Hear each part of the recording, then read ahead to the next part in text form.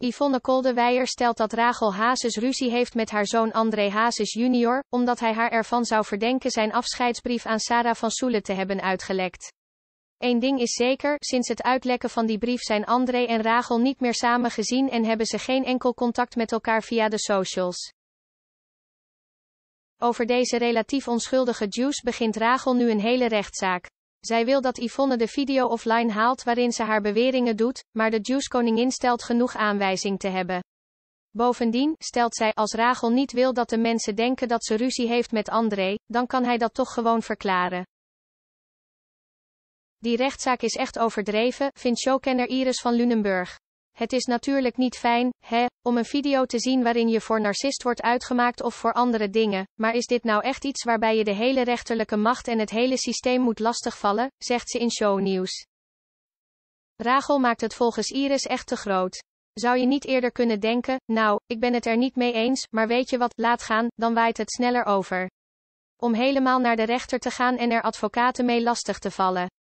Ik denk toch van, is het niet een beetje een overdreven reactie om het zo aan te pakken? Collega Bart Ettenkoven is het daarmee eens. Als je het zo erg vindt en het tegendeel wil bewijzen, dan hoef je niet naar de rechter en kan je ook op Instagram een filmpje plaatsen dat je samen onder de kerstboom zit en dan is het ook uit de wereld. André neemt het niet op voor zijn moeder in dit hele verhaal. Die had anders ook een statement kunnen maken.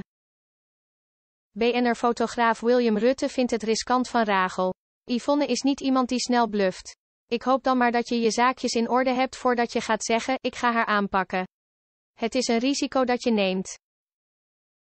Bart, we hebben met Samantha Steenwijk gezien, die ook die stap naar voren dacht te moeten maken. Die is daar niet heel goed van afgekomen, want tot op de dag vandaag wordt zij natuurlijk toch nog wel zwart gemaakt.